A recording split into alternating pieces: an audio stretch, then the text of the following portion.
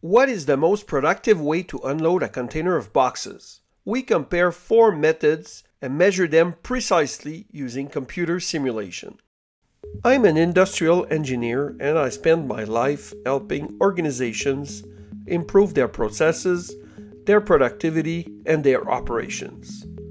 When I started my career, improving productivity was often seen in a negative way because it meant people would be losing their jobs. But today, in this era of labor shortage, improving productivity is essential to organizations' survival. And the best way to do this is by optimizing processes and implementing new technology to eliminate or automate tasks. So I decided to do videos about this to help spread the good word about performance improvement.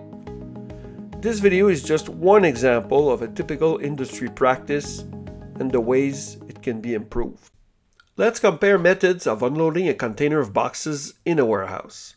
I'm talking about a container full of stacked boxes, as you would typically receive from overseas. The boxes are not on pallets, as this would be a different scenario.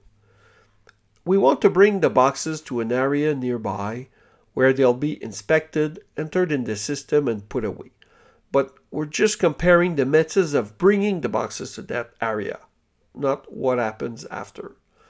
And we'll make sure to travel the same distance in each scenario.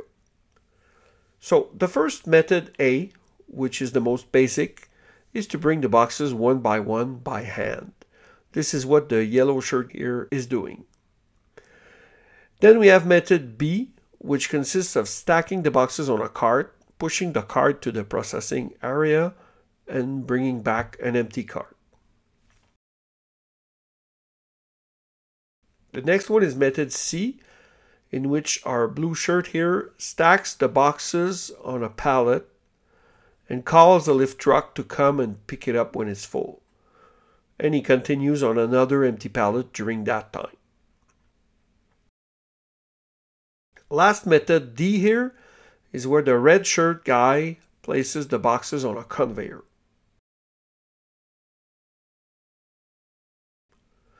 Of course, there are more methods than these, for example, using a pallet and a pallet jack, but let's look at the performance of these four methods. Without a surprise, method A is the least productive and by far. It only processes around 170 boxes per hour, while methods B and C process more than double that, and method D processes as much as three times more boxes per hour than method A. As far as the employee utilization, in every case, the employee doing the unloading is working non-stop at 100%. But the employee receiving the boxes works a lot less with method A because he receives a lot less boxes than the others in methods B, C, and D, which all work about the same on average. But again, we don't show what they do with the boxes, and as that's out of the scope of this comparison. So, in summary, method A is the worst. Avoid working like this. Methods B and C are similar, except C requires 10% of a lift truck. But if the distance to cover is great, a lift truck is faster, so C is better than B, where you'd be walking with a cart. Also, one could argue that you can put more boxes on a pallet than on a cart, which could be true, but it would have a minimal impact if the distance is short. And then we have method D, which processes a lot more boxes per hour than methods B and C, with the same employee utilization and without requiring the use of a lift truck. So when it is applicable, it is clearly the best method. But if you really want to improve productivity further, you can replace the employee in the container with a robot, which might not be affordable right now, but will undoubtedly become more so in the future.